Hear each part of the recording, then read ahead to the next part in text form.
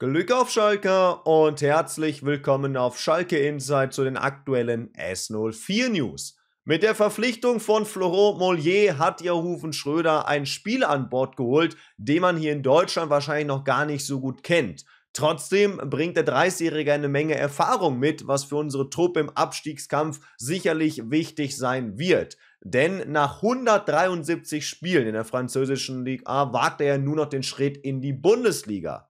Ich wollte unbedingt noch einmal ins Ausland wechseln. Als ich den Anruf von Schalke 04 bekommen habe, einem großen, renommierten Club, da war mir sofort klar, dass dies die richtige Adresse sein kann, sagte Mollier, der zuvor bei Montpellier spielte, auch immer nur in Frankreich aktiv war und nun bei uns einen Dreijahresvertrag bekommen hat.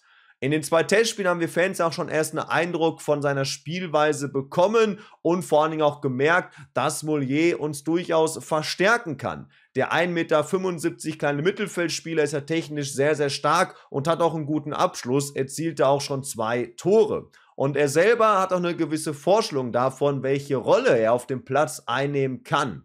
Ich sehe mich im Zentrum als Nummer 8, als Box-to-Box-Spieler, sagt der Franzose. Und genau da bin ich jetzt mal sehr gespannt. In den beiden Testspielen haben wir ja bislang immer im 4-4-2-System gespielt. Mollier auf der Seite des rechten Mittelfeldspielers, so eine Mischung aus Zehner und Flügelspieler. Vielleicht ist aber auch das genau die Rolle, die zu ihm passen kann. Als Box-to-Box-Spieler kann er sicherlich dann im 4-3-System funktionieren, wenn man das spielen möchte, als zweiter Achter neben Rodrigo Salazar. Also wir sehen, mit dem Franzosen am Mittelfeld jetzt wirklich verschiedene Möglichkeiten, je nachdem eben auch, wo ihn dann Frank Kramer am Ende sieht.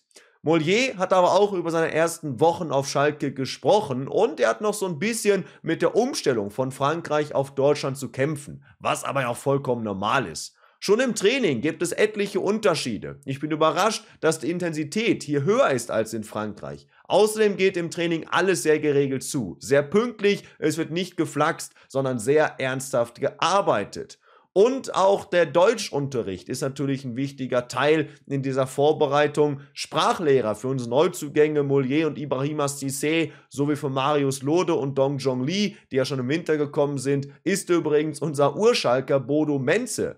Der 69-Jährige, der jahrelang Nachwuchschef bei uns war, spricht nämlich fließend Englisch und Französisch und deshalb ist er auch sehr, sehr oft beim Training mit dabei. Und von Mollier ist er ebenso angetan wie unser neuer Trainer, Frank Kramer. Wenn er am Ball ist und ein, zwei Meter Platz um sich herum hat, ist er sehr beweglich. Er hat schon angedeutet, dass eine Verstärkung für uns werden kann, sagte Kramer. Und ich bin echt gespannt, welche Rolle am Ende dann auch Florent Mollier in der Bundesliga einnehmen wird.